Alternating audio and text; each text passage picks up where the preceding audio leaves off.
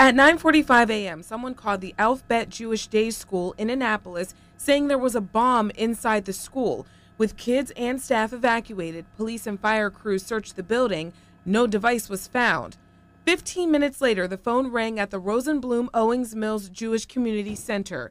The caller told a staff member there was a bomb in the building. We decided that we didn't feel the threat was credible, and we decided not to evacuate the building and continue with our normal operating procedures. Paul Laurie leads the seven person security team at the Owings Mills JCC. We do believe that they're all connected in some way, and we've talked to local and national authorities who have kind of shared information believing the same kind of situation. Laurie tells me no new security policies are in place, saying the center already has strong procedures, including a See Something, Say Something campaign launched 18 months ago. We've really taken this opportunity to remind people about that campaign. We have signs up around the building to make sure our staff is vigilant with that, to make sure that, you know, everybody's doing their role to keep us safe. The Jewish Community Centers Association of North America is calling on federal officials to quickly identify and capture whoever's responsible for the threats. It's very disappointing the increased acts of anti Semitism or hate towards any group in, in our country. Barak Hermann, the Baltimore County Center CEO, tells me his members aren't afraid